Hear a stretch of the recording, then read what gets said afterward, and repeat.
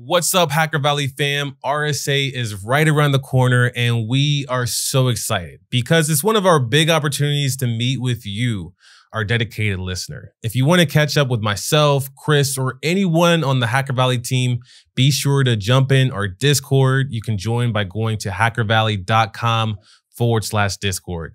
To add on top of the excitement for RSA, this week, we're going to be sharing a never before seen episode that has only aired live at RSA last year. It's a conversation with Amy Bream, a Nike adaptive athlete, and Simone Biles. Yes, Simone Biles, the most decorated gymnast of all time.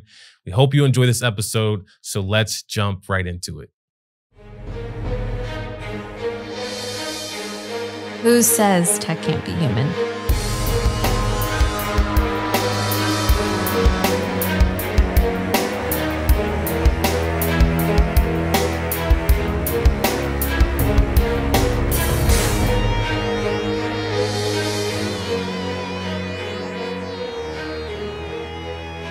Welcome back to the show. Glad to be back again. Joined with two incredible guests, people that I'm starting to call my friends. Right.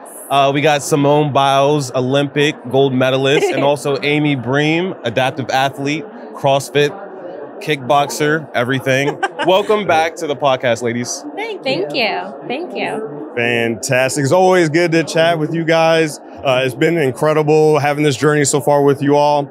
And everyone pretty much knows who you are at this point, right? You've been on the podcast, people see you guys on social media. But what I'd love for you to share with everybody today is what is most exciting for you right now? Like, what are you doing in your lives and your careers that has you the most excited? Let's start with you, Amy.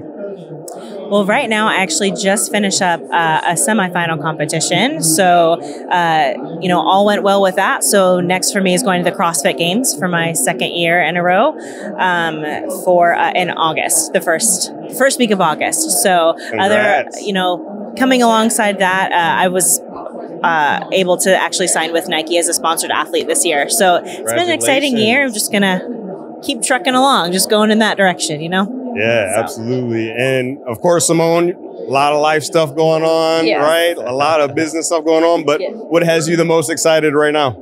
Right now, what has me the most excited is we're planning our wedding. Yeah. So we just solidified a location and a date. So now we can finally move on and try to find the photographers and the DJs and all of that stuff. So Yeah. that's what's going on.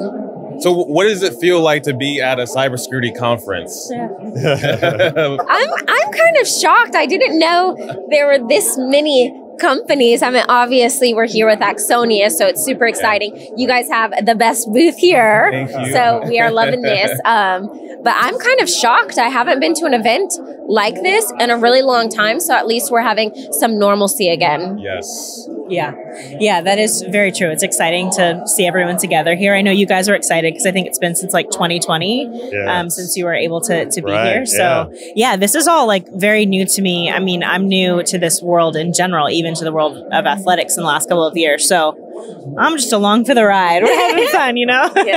So we got to talk about that, right? We're we're Mm-hmm. just getting back to being in person after two years. It, it for a cybersecurity practitioner, it was tough because Mm-hmm. we're working with technology all day, and the people that we're trying to connect with, it's all through Zoom, and you know that is very tough in its own right to build connections and relationships Mm-hmm. just through a computer screen.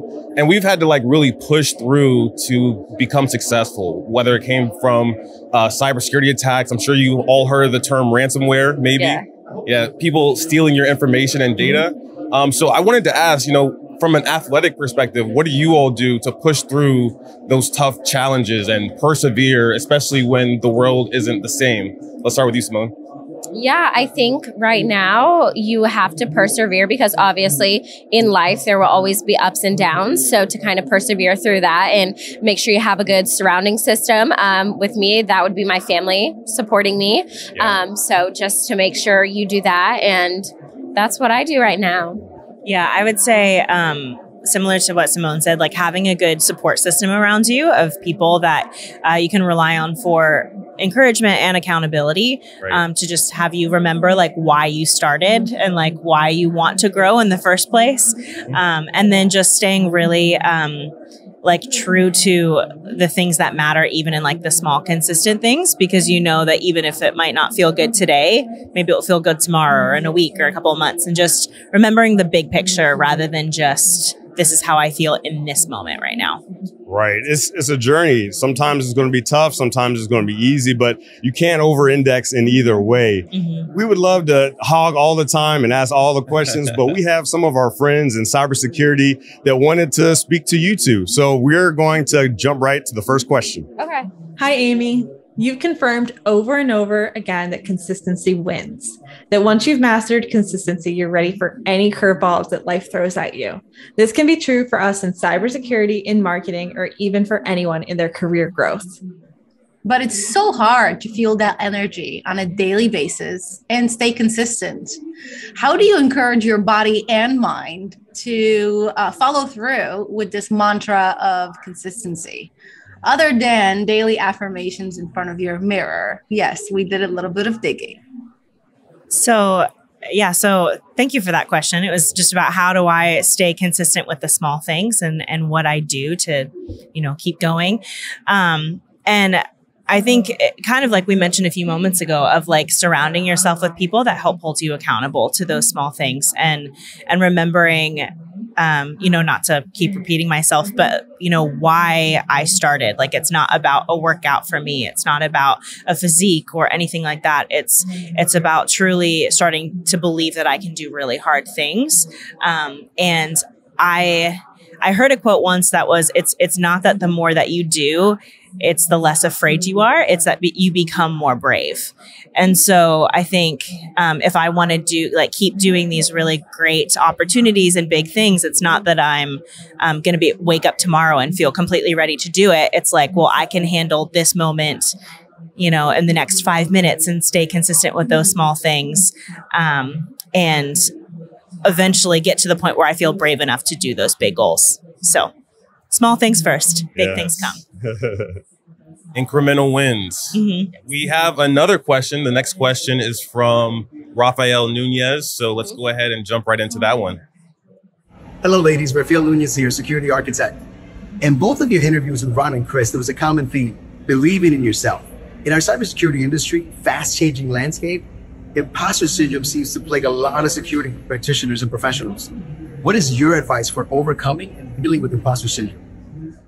So how do you find, you know, the ability to not be an imposter? I feel like we yeah. oftentimes, especially in cybersecurity, working in technology, we find ourselves being an imposter, feeling like an imposter, but that's not really the case. So how would you answer Rafael's question? Yeah, for me, I definitely would say fake it till you make it. And I think it's something mm. that we've both mm. used throughout our careers and it's worked for us. And once you start believing in that, that's when you start succeeding. But I also believe since I've been on like a global scene since I was 14 years old, imposter syndrome wasn't so prevalent as it is now. So I think nowadays the kids have a really hard time trying to stay authentic to themselves. So really just believe in yourself, faking it till you make it, and it'll be good.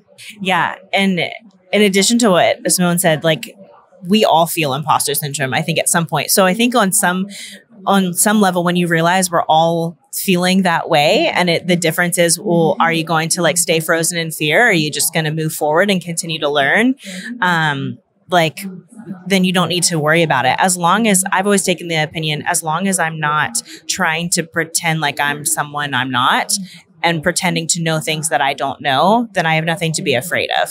So I don't have to feel like an imposter if I'm just genuinely learning and figuring it out and not shutting down. Yeah, I would just say everyone feels like they don't know what they're doing at some point. Right. So, like Simone said, fake it till you make it and just be true to who you are. Keep going. 100%. When I talked to both of you, that's what really resonated with me the most because you talked about the world championship, right? You were like, oh, wow, there's all these incredible people here, but yeah. you did it. You like yeah. came out on top, right? And you got a yeah. special uh, gift because of that. And then even with you going into the gym the first time, mm-hmm. being able to step in there, like you felt like you're like, why am I even here? And then even going a step further and going into kickboxing, you're like, what is, the heck is going on, right? And then now CrossFit. So all of this combined, you really think about the human spirit. You really think about how do you persevere and do the most.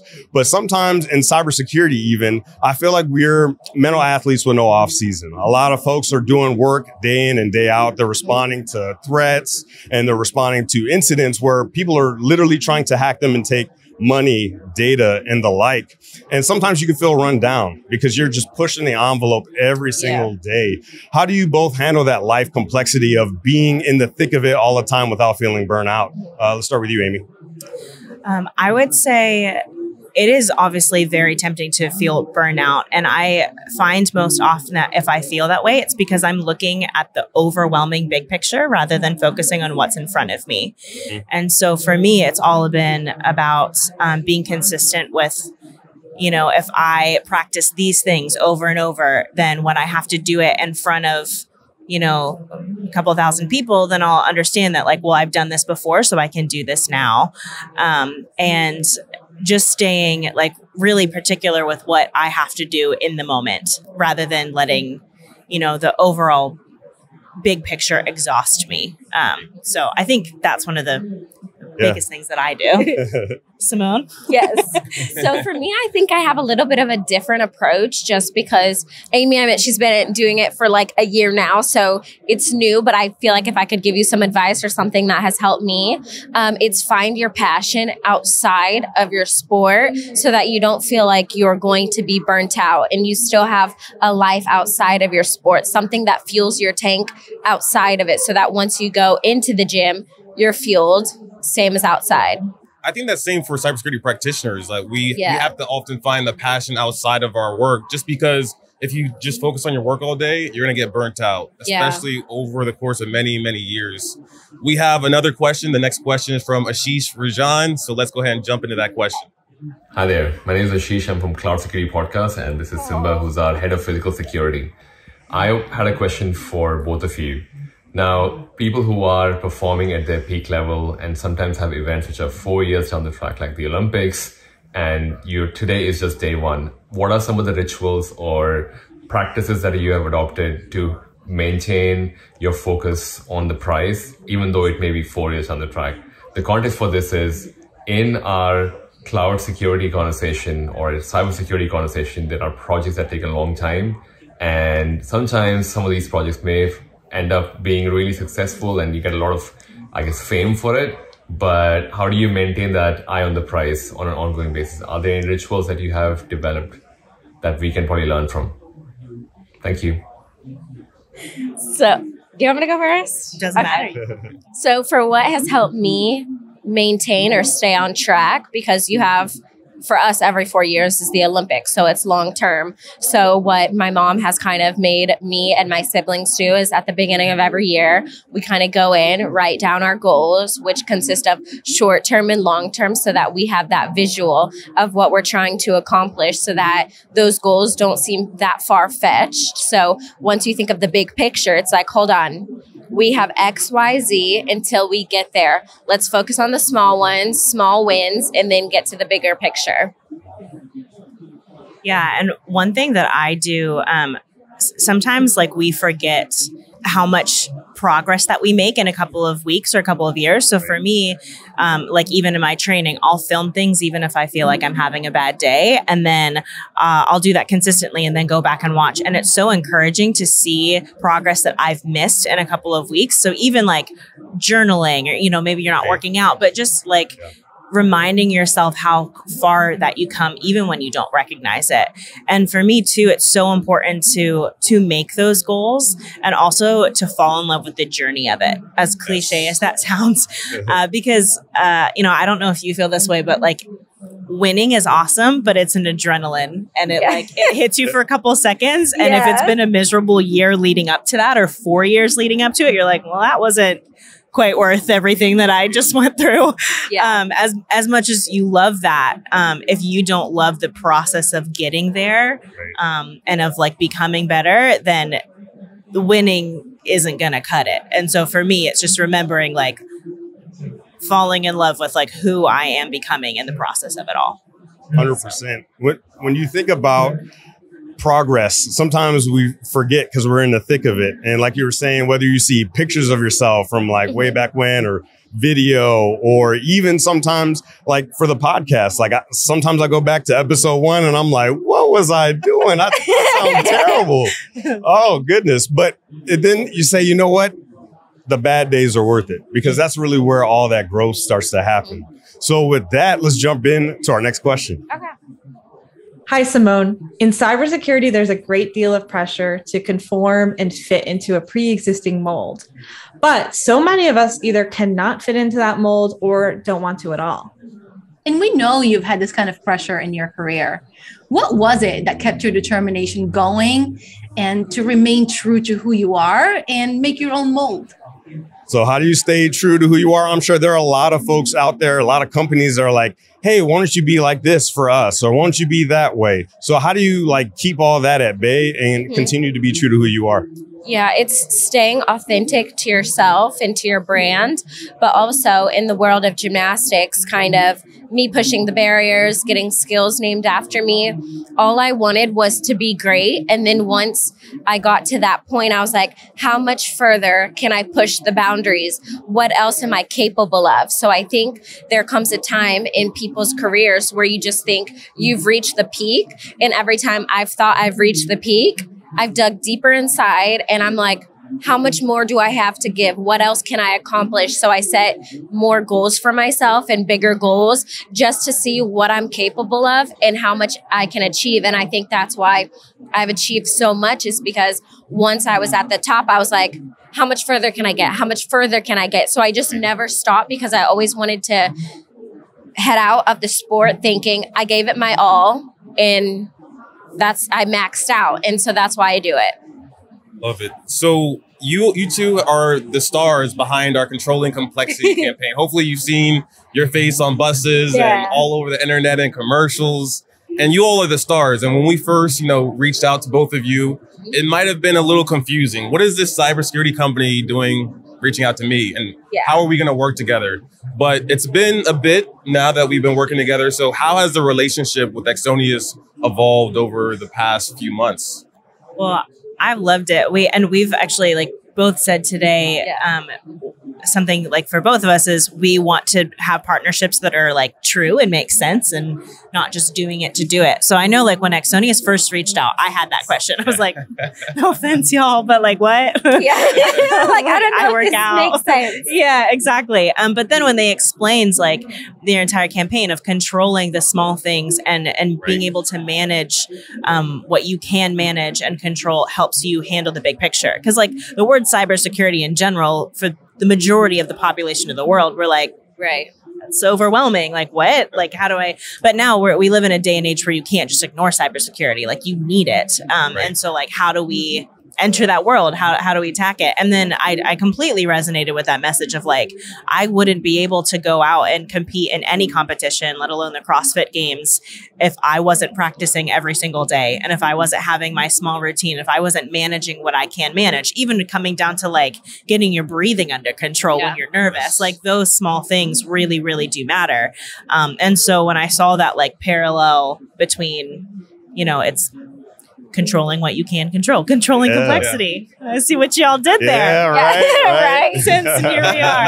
I feel like I resonate with a lot of what Amy said because in the beginning you're like, hold on, and then it took a different spin on it, and then you see what you guys both have in common and how you can kind of push that barrier and kind of put that word out. I'm like, this actually makes all the sense now that I see it and we're doing this stuff. And so that's what made me interested in it. And it was so different because I mean, I don't know about you, but I've been hacked before and it is oh. not Oh. fun. It's oh. not Oh. fun at all. But once you can control what you can control, I was like, I like it. Makes sense. The parallels are there. And now people ask me about it and I tell them why I've partnered with Axonius Yeah. and why we're doing and because it doesn't make sense to them at all at first. Yeah. And then I explain it to them and they're like, wait, that's actually a really neat spin. Like I like how you guys did that. I'm like, it was smart. exactly. Yeah. Yeah. That, no one likes getting hacked is never a good scenario, but you're not by yourself. There's a Right. lot of people, a lot of organizations out there that are fighting this battle every single day. With that, let's jump to the next question. Hey, it's Dave Bittner from the Cyberwire. Um, you know, people in cybersecurity often find themselves in highly stressful, emotionally intense situations where there's a whole lot at stake, and they may have only one chance to get it right. You've faced these kinds of situations yourself when you're about to get up on that balance beam or run toward that vault. What sorts of things do you do to put yourself in the best state of mind so you can do what needs to be done and not be overwhelmed or distracted by everything that's at stake? Thanks. So with that, how do you stay focused in that those high intense situations where you have to perform different mediums, right? Whether you're talking about gymnastics, you're talking about boxing or CrossFit, how do you get really focused on the now and perform at your best? Let's start with you, Simone. Well, for us, a lot of what we do is repetition and it involves consistency and that's what a lot of what you guys do too. So once we go up and she's either going to do lift weights or i'm about to do a routine on the beam it's like i've done this so many times it goes it's autopilot at this point. So i think that's how you can think about it is like you guys have done this so many times even if you guys are at a big convention or whatever you're doing you've done it. It's autopilot. It's just the stress of what people are going to see see or think or the response that you're going to get but other than that you guys have done it a million times you've trained for this it's your profession right yeah and i think not to use this phrase again and again, but controlling what you can control. So like yeah. that repetition is important because when you do go into autopilot or whatever, like it's you know that you can control like uh, even coming out of this last competition I had, the single sentence that helped me the most was my coach repeatedly telling me, You are in control. And it's like, wow, I am in control. Like I've done this before. Like I like I know what my body can do and I can make it do it now. Like I've made it do it a hundred times, whether I'm by myself or whether I have an audience watching me. Um, and just focusing on, you know, breathing, like controlling yeah. it and, and just knowing like I have nothing to be afraid of right now yeah. because I, I know what I'm doing and I've managed what I needed to and now we're just gonna we're gonna have fun now. Yeah. yeah. I, I, love the breathing idea. I mean that's mm-hmm. so important. That's what we need the most. Sometimes we think about needing more water, that's always helpful, but just taking that breath and that pause mm-hmm. and re reacclimating and realigning yourself is is always gonna be helpful. And I think that you two are actually like a really great partner for Axonius. You know, you talked about Axonius is making sense, but I think it makes a lot of sense to have you two, especially Simone, you know, your time in gymnastics and moves being named after you. Yeah. What we're hoping to do was humanize cybersecurity, show that there's people behind technology.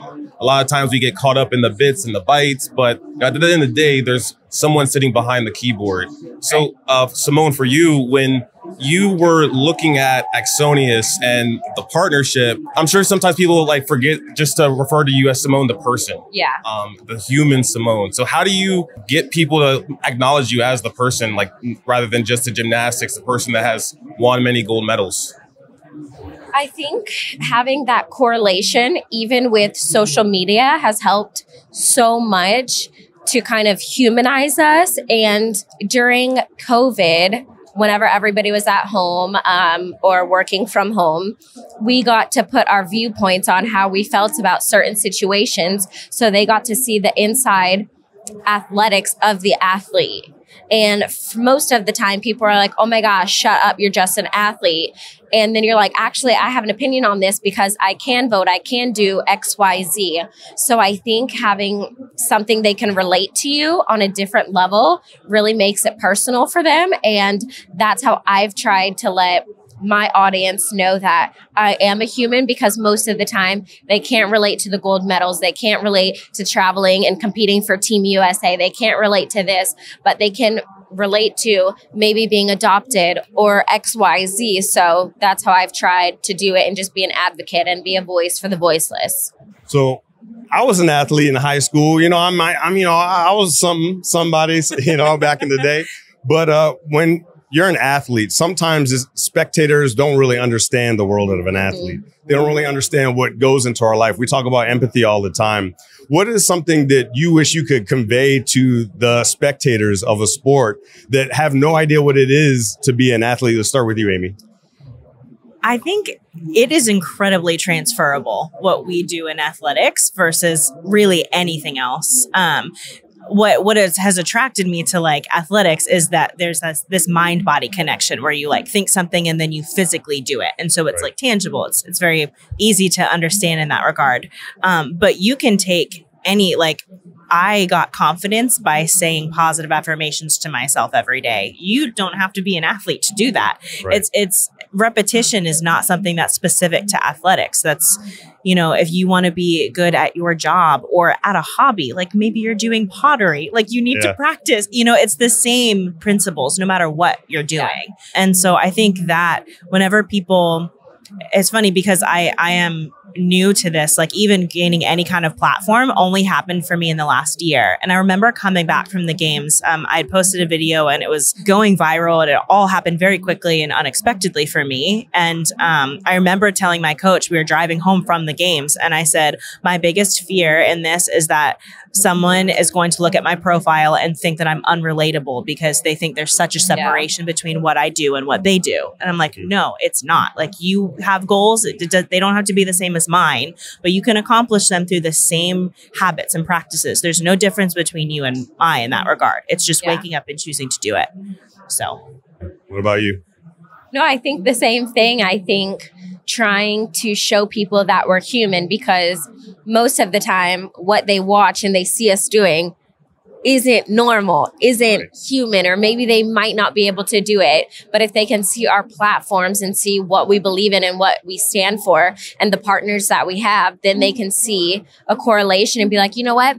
I really believe in that. And that's why I think she's human XYZ. And for the first time, uh, 2021, I didn't think people saw me for Simone or as human until I stepped away from those competitions. And then people were like, wow, she is human because for so many years they couldn't relate to what I was doing because right. it was not normal in a way, you know? Yeah. With that, let's go to the next and final question. Hello, ladies. I'm Anne Marie Zettelmeyer, or AMZ in some circles. As you know, security is a multidisciplinary craft. It takes a wide range of skill sets, tools, and minds in order to build a strong security program that actually works. It's never one technique, it's never one discipline. We also have to cross train in order to defend. And as a chief security officer, I have to enable my teams to not only master the fundamentals, but to also seek out innovation, to seek out change, to have that mindset to constantly learn about new techniques and new capabilities, new threats in order to stay ahead of the adversary. Basically, they have to be at the top of their game because the stakes are high for us too. I know that both of you can relate to that in more ways than one. How important is innovation and cross training to your craft? How do you push the boundaries to find a better way to perform while still holding on to the fundamentals that made you great? When I was doing something like jujitsu, uh, going in, mm-hmm. learning the basics, you want to start doing the fun stuff like immediately. Yeah. I'm sure the same for you, right? You want to start doing the fun stuff immediately, but it's all about really focusing on the fundamentals. But at a certain point, you have to start to grow into yourself and push the boundaries a little bit. How do you push into the boundaries while also keeping a, a close tie on the fundamentals? Let's start with you, Simone. I think for me and what my coaches have always done is we've always gone back to the basics if we're having an issue or you just need that daily reminder because you get so caught up in moving on and learning all the new things that you might forget the basics and the fundamentals. So we always try to go back and reiterate that so that it sets you up for perfection or for greatness or to just spring forward. And that's what we've done in our sport. And I think that's what sometimes we need to just do in life is to go back to the basics. If we're stressed, if we're trying to accomplish something new, um, if we're tired, feeling burnt out, go back to the basics and remember why you're doing it and w- what your joy was.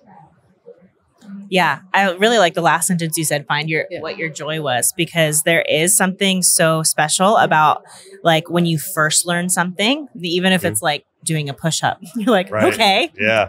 um at, like no matter how simple it is and I think um there's there's joy in the basics. Like we mm-hmm. can look at it and see it as mundane or ba- you know, not fun or whatever, but really um, those things are what allow us to do other cool things. If we don't have that, we can't move forward if we don't have a good foundation. And so uh, for me, it's often the same. My coach always says, like, find your win every day, no matter what. So if I'm wanting to push the boundaries, but I'm not able to, then we we go back and we go to the basics and and quote unquote find my win for the day.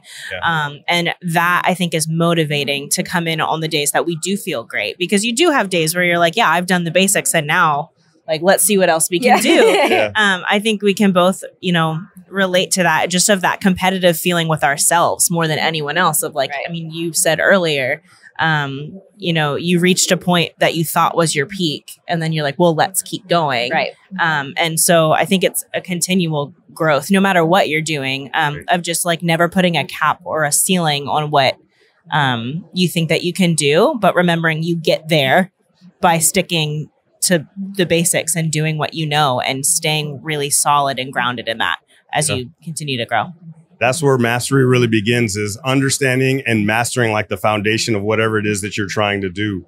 You know, it's really been an honor to talk to both of you several times. Your inspirations to us. And honestly, you've transcended your sports. You've transcended that place that you occupy because you're doing so much more. You're doing more for people outside of your sport. You're doing so much for people all around the world. When you think about something like legacy, right? We talk about legacy all the time on the podcast, and some people look at it as like an egotistical way, but legacy is really about impacting other yeah. people. When when all is said and done, what do you think about legacy and what it means to you and the things that you have to do yet?